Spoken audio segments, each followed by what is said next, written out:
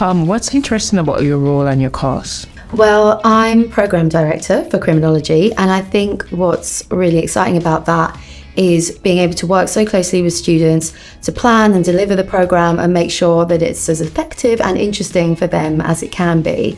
And I think what's really interesting about our degree is that the academics we have in the department who are doing the teaching are so out there in the real world of crime and justice. They're working with the police, they're working with the government, they're working in prisons, they're right up there front and centre. So, what they're teaching about is based on their own experience. What made you want to study this course at Surrey? I took psychology A level, and um, during the class, we had a debate that's got to do with holism versus reductionism and then nature versus nurture debate. And I also was so intrigued and I decided to actually pursue like for criminals, do they actually have the intent to commit crimes right from birth? Was it nature or is it the environmental factors that affected them? I chose Surrey because uh, when I checked my UCAS and everything on my research, um, it was like top 10 for criminology course.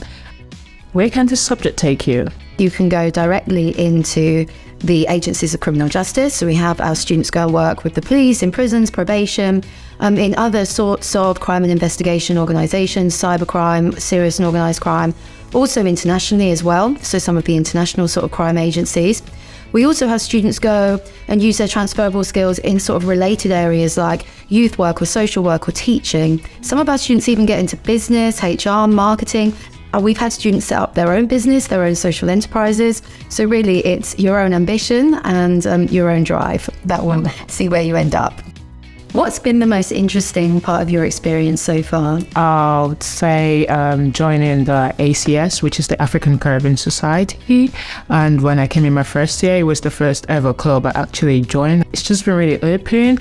And I would say that's the most interesting. And I also have the Nigerian Society, which I'm the event manager for. So I like plan and organize events. And um, so it's really been a very wide experience at uni. It's not been just academically like enclosed.